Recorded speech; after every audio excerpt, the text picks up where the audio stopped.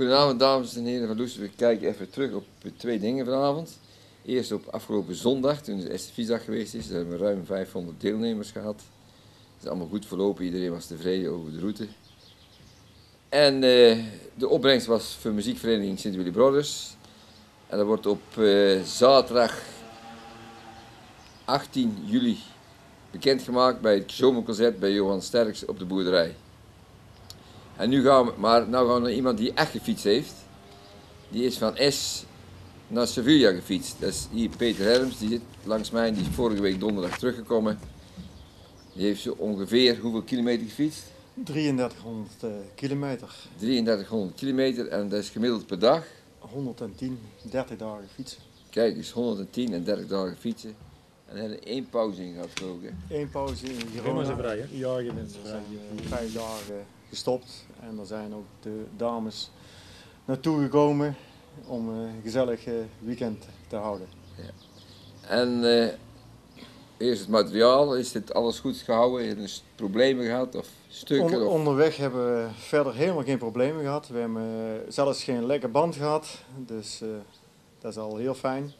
Het, het, enige wat er uiteindelijk met de fiets gebeurd is, en vandaar dat je ook niet thuis is, is dat hij met het transport het vliegtuig in en het vliegtuig uit beschadigd is. En hij staat nu bij de fietsenmaker. En uh, is het zwaar geweest? Of uh, eerst het weer? Hebben veel regen gehad? Nee, we zijn uh, toen op 17 mei in S vertrokken. Toen, toen was het s s'morgens lichte regen. En dat is gebleven eigenlijk tot aan Reuzel, tot aan de Belgische grens. Verder hebben we eigenlijk nog een keer in Noord-Frankrijk een keer een onweersbui gehad van een kwartiertje. En in Zuid-Frankrijk nog een paar uur lichte regen. En dat is al wat we aan regen gehad hebben. En verder is het alleen maar eigenlijk uh, van, uh, van redelijk weer tot zeer warm geworden. tot in Spanje, waar de hoogste temperatuur die we gehad hebben in Cordoba tot 50 graden Celsius. En verder onderweg hebben we dus goed kunnen overnachtingsdingen kunnen vinden. Dat je zegt, nou, we willen vandaag 120 kilometer fietsen en dat er dan ook een, een, een hotel uit. Of dat ooit het gaat, verdomme, we moeten nog 20 kilometer verder. Dat de ja. laatste 20 kilometer zo zwaar zijn. Ja, uh, het is zeg maar uh, 80% van de keren is het gewoon heel vlot gelukt om in de plaats waar we gedacht hadden te kunnen overnachten, ook, dat het ook lukte ja. om te overnachten. Uh, een paar keer uh, heeft het wel tegengezeten. Eén keer hadden we 110 kilometer op de, op de teller. En, toen, en er was al een, een pittig parcours. En toen zijn we nog twee keer 20 kilometer verder gemoeten. Omdat telkens in die plaatsen de, de hostels of hotels of wat dan ook voor overnachtingen vol zaten of, of niet meer functioneerden. En uiteindelijk kwamen we na 155 kilometer op een camping aan. Waar we dankbaar gebruik hebben gemaakt van een zeer oude caravan. maar goed, je gaat toch weer onderdak en waar blij dat het komt liggen. Ja, precies. Ja. En uh, de, ja, het, was een, het is een heuvelachtig parcours en hoe verder naar, naar Spanje in kwam, Sevilla wordt steeds uh, heuvelachtiger. Zijn het lange beklimmingen of korte beklimmingen? Hoe moeten we ons daar voorstellen?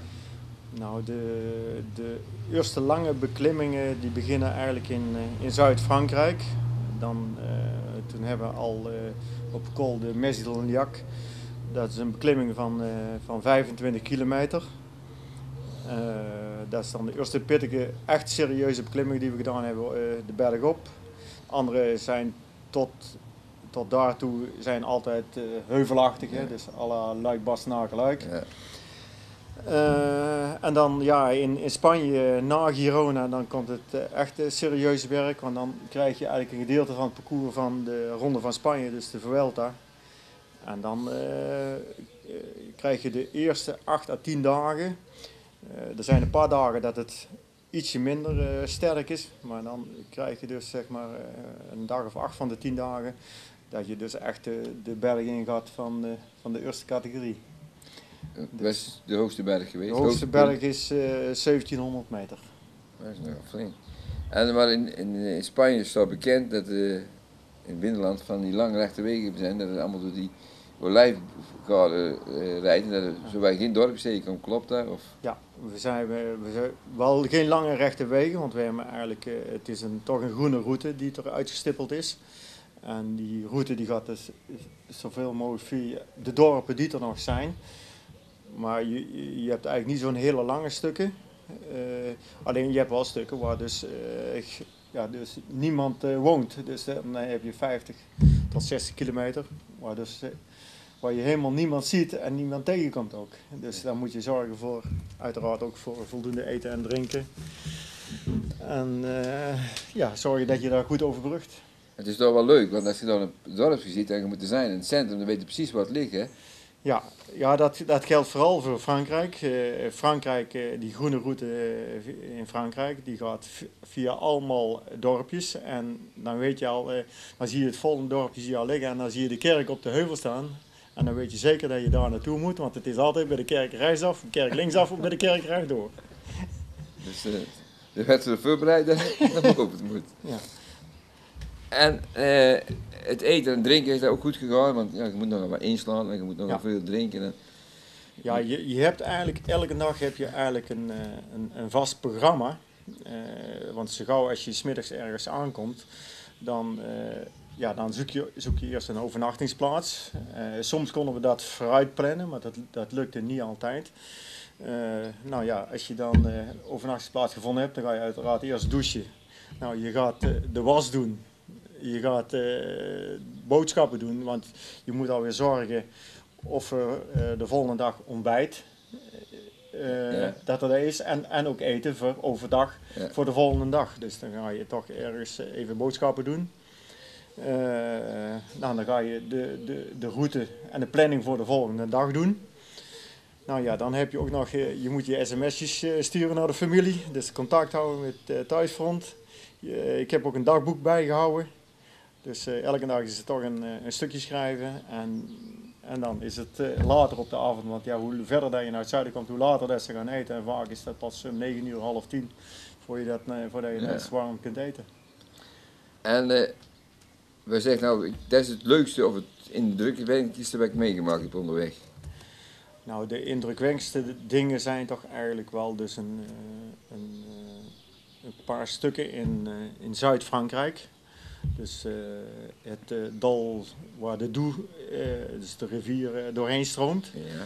En, Is dat door die canyons? Zo? Ja, dan, je moet ook dan wel veel omhoog en omlaag. Maar goed, het, dal is uiteindelijk schitterend van natuurschoon. En hetzelfde geldt eigenlijk het dal van Bouège. Dat ligt nog iets zuidelijker. Dus, maar dat is ontzettend mooi.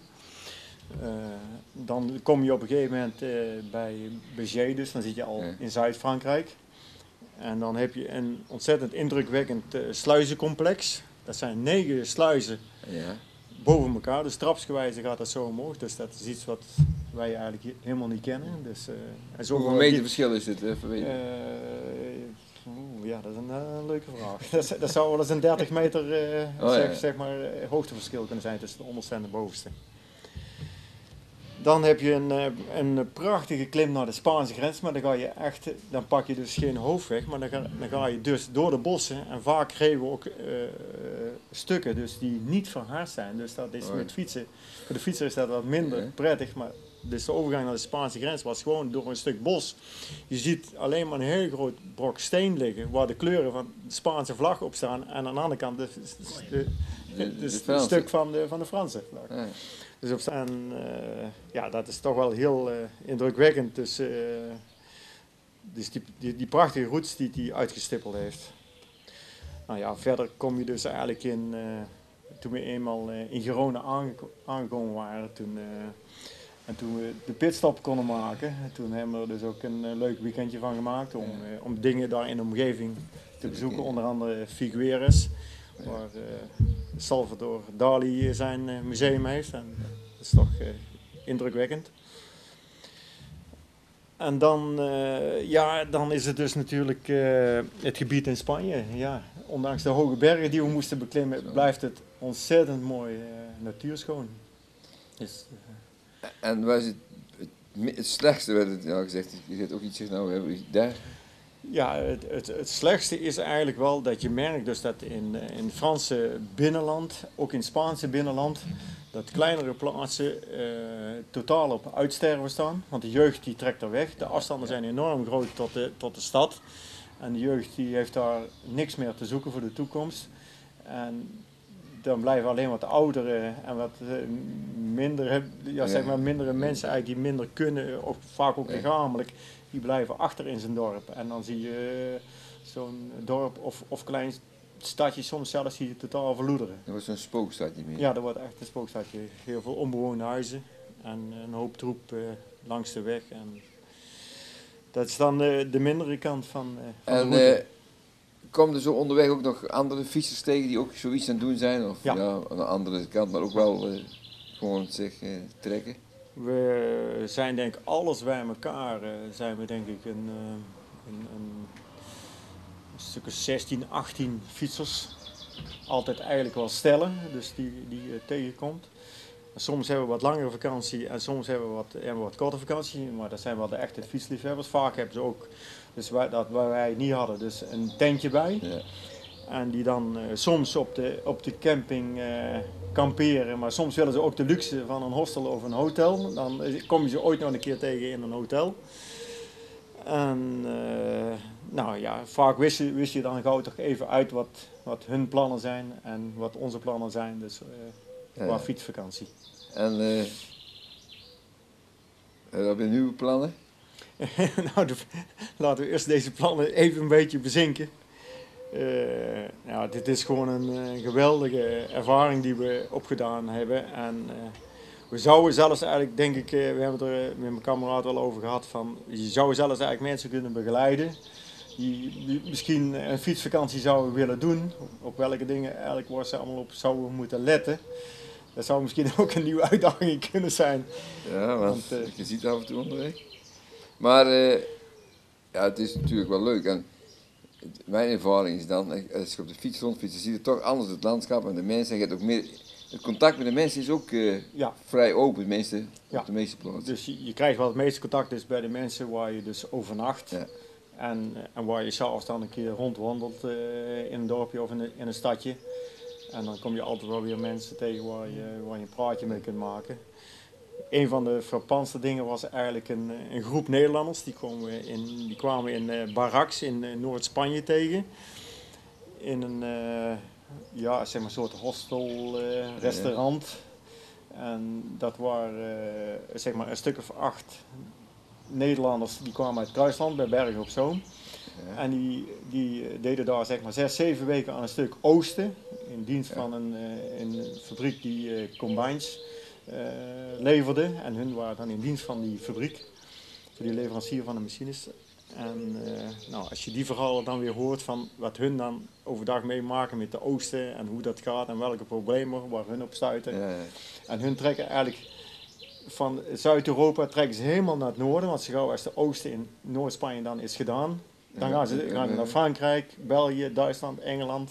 En zo trekken ze verder naar het noorden om daar een uh, kost weer te verdienen. Ja, zo komen nog eens wat tegen, hè? Zo komen nog wel wat tegen. Ja. En de taal, want eh, ja, in Frankrijk is het al heel moeilijk met Engels. Ja. Maar in, die, in, in het Spaanse binnenland waarschijnlijk ook wel. Nou, dat viel uh, ja, voor ons reuze mee, of voor mij reuze mee, want mijn kameraad die, die spreekt vloeiend Frans, dus die, die gaat net zo hard als de Fransen zelf, dus dat is geen enkel probleem. Nee. En uh, Spaans was uh, dan even wat, wat lastiger, maar je hebt je eigen toch snel wat woorden toegeëindigd. Eigenlijk om, eh, om de meest voor de hand liggende dingen voor boodschappen, eh, overnachting en allerlei dingen te vragen en de weg, de weg te vragen. Dus dat, dat ging eigenlijk al verder prima. Zonder... En je merkt al dat de jonge Spanjaarden al, eh, al, toch, ja. al Engels aanleren en dat converseert dan iets makkelijker. Ja, en eh, onderweg heb je dan nog speciale dingen gezien, zegt ja, watervallen of, of, of natuurgebieden of... of ja, skipistes of... Ja, eh, wat dat betreft uh, zie je natuurlijk op 3300 kilometer zie je erg veel. Je hebt dus inderdaad watervallen, skigebieden, prachtige monumentale stadjes. Uh, we zijn ook door tunnels gefietst en gelukkig had ik, had ik licht op mijn fiets. Want we hebben ook tunnels gehad van 800 meter lang en er stond bij als je in de tunnel inrijdt, dan hoef je maar even op de knop te drukken en spring het aan. Maar, de, maar, maar dat was vroeger. Dus, eh, dus ik had me licht hard, hard nodig om eh, die eh, tunnels van 800 meter door te rijden. En dat mijn, mijn compagnon er achter mij aankon. En die kon gewoon in mijn spoor blijven volgen. Verder, ja, je ziet natuurlijk enorm veel landbouw, fruitteelt, olijfbomen. die heb ik denk ik voor mijn hele leven gezien. Daar fiets je, fiets je dagen doorheen. Dan hebben we de oorsprong van de, van de taag gezien, dus eh, van de rivier. En dat is dan een heel klein, miserig, miserig slootje. Ehm, verder, eh, ja, op, En die loopt door naar Portugal, hè? die loopt dan door naar Portugal. Onderweg hebben we ook eh, prachtige, dus zeg maar, in een meer zagen we een hele gro- grote groep flamingo's. Dat, dat tref je dan zomaar in één keer. ja. Dus eh, dat, ja, ook eh, aan vogels, dus aan gieren en allerlei dingen zie je ook onderweg. Eh, Ja. Dus dat zijn prachtige dingen om, om te zien. En dan heb ik nog een andere vraag. want meester, oh, zullen mensen ook wel interessant zijn. Het zitten op het zadel. Hebben daar nog problemen mee gehad? Daar hebben we inderdaad problemen mee gehad. Eh, we hadden na een dag of vier, toen werd het zitvlak al wat dunner. En gelukkig hebben we, daar hadden we een tip van eh, Ad van Helvert gekregen over eh, dat er eh, zeg maar een pleisters, pleisters waren in de handel voor second skin. Daar hebben we ook driftig gebruik van gemaakt om die elke dag aan te brengen. En sindsdien hebben we eigenlijk dan geen last meer gehad om in ieder geval tegen het doorzitten op het zadel. En verder hebben we ook nog eens op een andere manier zaten we er wel eens door. Dus hebben we echt, doorheen ver- vooral in Spanje, dus als we naar zware beklimmingen. En als je dan eigenlijk smiddags eh, aankomt, eh, ook met die hoge temperaturen, dat je, ben je werkelijk tot aan het gaatje Als gegaan. dan En iemand dan, geld eh, biedt voor de fiets, dan... dat, we hebben wel eens gezegd van die fietsen, de eerste beste rivier, daar gaat hij in. ja, ja. maar goed, als je dan weer gedoucht hebt en je hebt weer goed gegeten, Ja. en dan denken we de volgende dag, we gaan er weer lekker tegen. Ja, ja. Dat is wel leuk, ja. En dan houdt elkaar ook een beetje... Ja, op, oppeppen, dat is, dat is zeker nodig. Dus het steun van elkaar echt nodig. Goed, oké.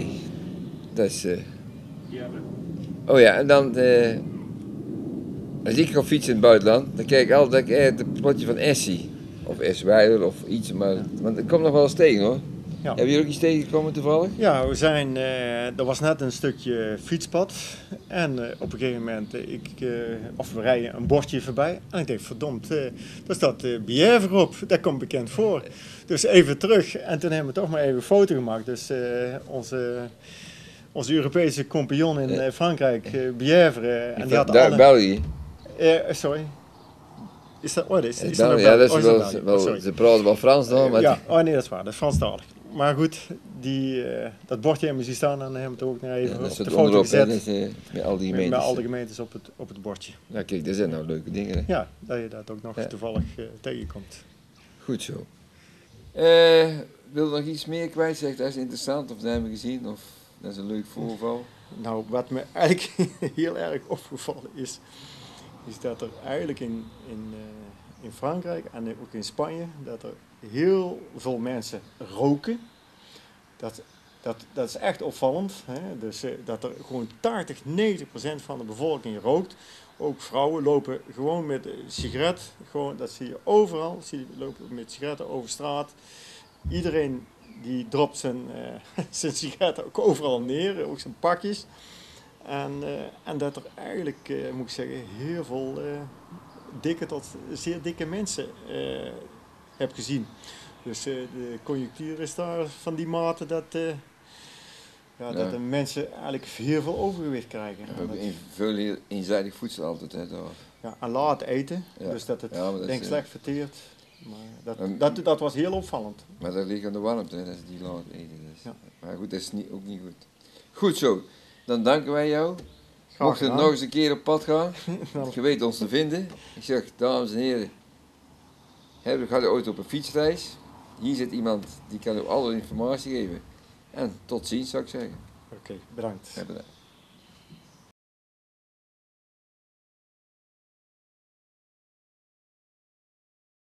Dus eh, brengen we nou wasseretten. Ja. En nou ja, ik ben niet zo goed van de, Van van de wastemperatuur en dergelijke op de hoogte. Dus we hadden alles op 90 graden gewassen. Toen was het echt schoon. Het was wel schoon, maar ook kleiner geworden. Nee, nee nou, het viel mee. Alleen één, ik had één synthetisch shirtje erbij zitten, een, een, een hemdje. Dat was gewoon verschroeid. Ja. de, de hoge temperatuur. Dus ik hem daar op weg kunnen gooien. Ja. Ja, dat is Maar- wel leuk, ja. Dat is de ondeskundigheid.